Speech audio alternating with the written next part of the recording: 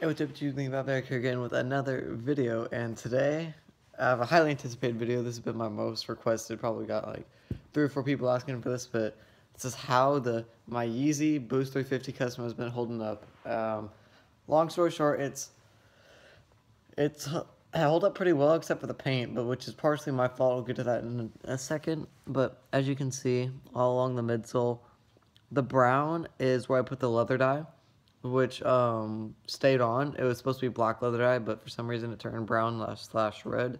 So that's why you don't need that. But it is good because when the paint chips off, it's not just complete white showing through. You still have a little bit of color, so it's not too noticeable. But so that stayed on, but the black paint, I only did one coat, so uh, it came off, which I need to do another coat soon, maybe today.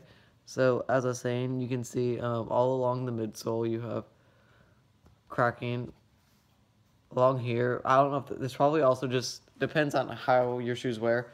I have a lot of um, pressure right here on the ball of my foot, and actually right here on the ball of my foot. That's not the ball of my foot. Um, and I'm a heel striker also. So as you can see along here, not too much cracking, but as you get in the back, a little bit right there.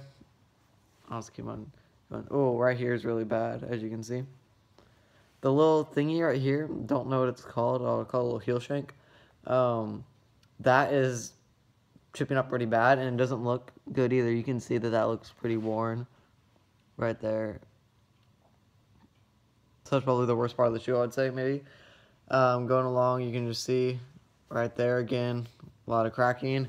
Next shoe, about the same thing, more cracking up here. Good in the um, midfoot, then towards the heel, more cracking, and same with the lateral side. So, um, anyways, keep in mind this is after probably, gosh, like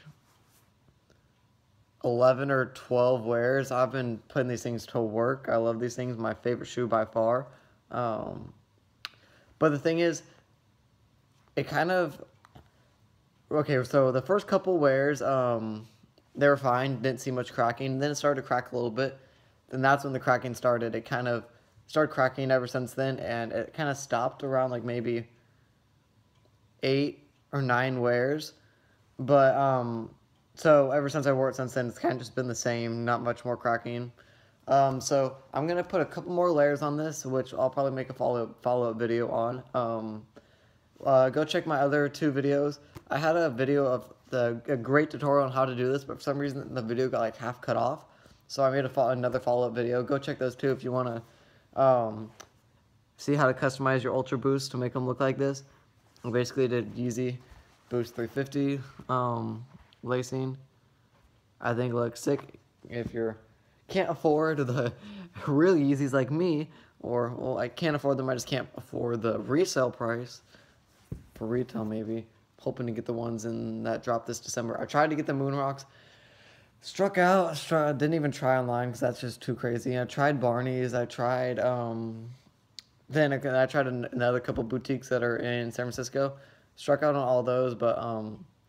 So, anyways, thank you guys for watching. Please like, subscribe, and comment what you guys like seeing this channel, and I'll see you guys next time. Peace and stay safe out there.